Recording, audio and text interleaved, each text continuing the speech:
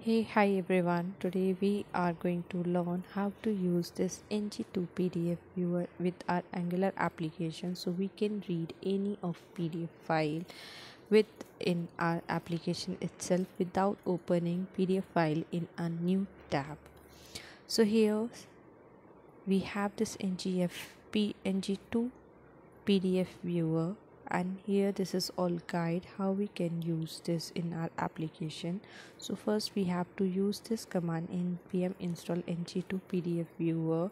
And after installation of this command we can go through this. And we here we have to import this in our app module or in any root module of the application.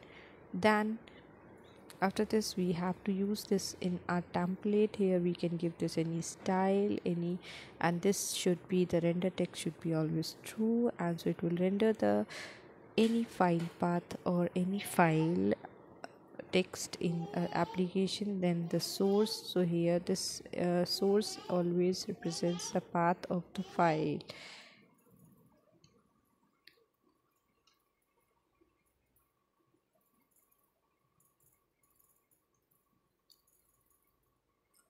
so this represents path of the file. And then we have this path where we are binding it with the source. So this by this all by doing all these things we can show our pdf file in our application angular application. So here uh, this path uh, can be of asset folders this path can be of uh, external file and this path can be from aws here okay so let's try with this uh, application. First i'm going to copy this command.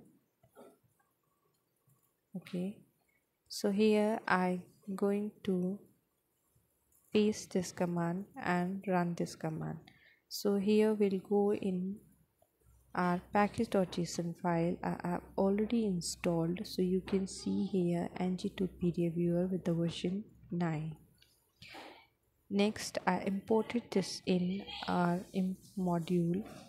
So here this is a pdf viewer module in the ng from ng2 pdf viewer that already imported. Next we'll move to the html template file. So here i have used this same term that pdf viewer with this original size render text true and this is the source file. And where i have the source is same what we using in our npm guide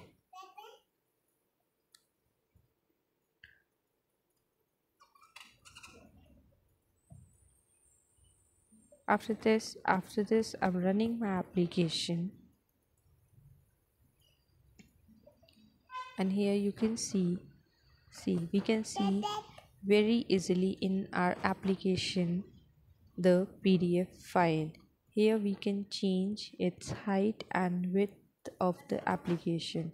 So here i'm going to give it 800 and after this we can see very easily. Wow so we we have introduced this pdf viewer in our angular application where we can see pdf files in application itself without opening pdf file in a new tab or any other media